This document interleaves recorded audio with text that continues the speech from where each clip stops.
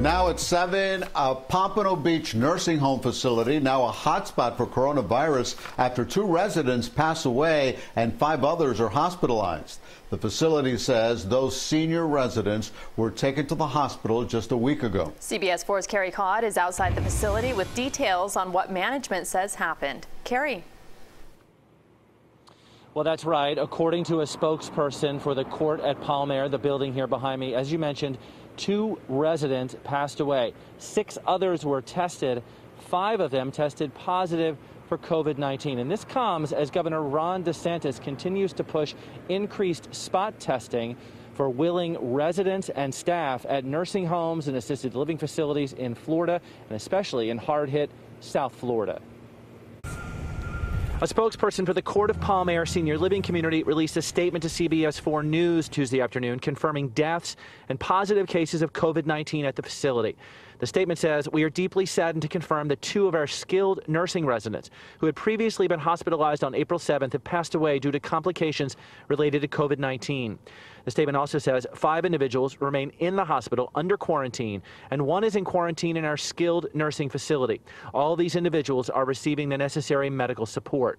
During the afternoon, we have not seen any activity at the facility from first responders or the State Department of Health.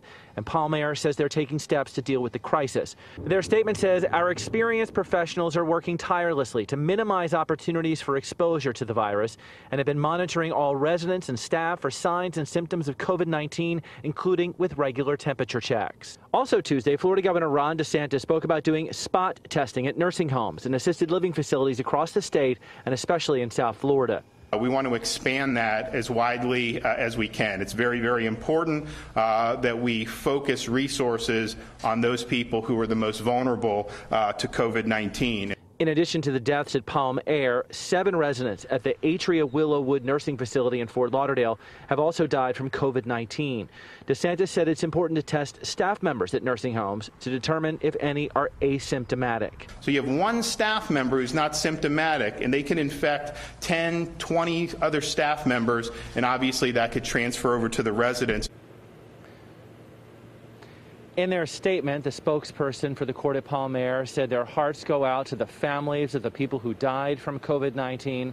They also said they're working with the city of Pompano Beach in efforts to minimize the spread of the virus.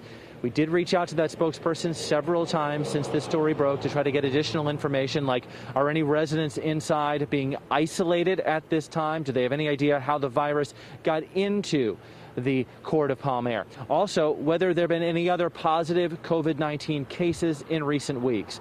We're still awaiting a response from the spokesperson. Live in Pompano Beach, Carey Codd, CBS 4 News.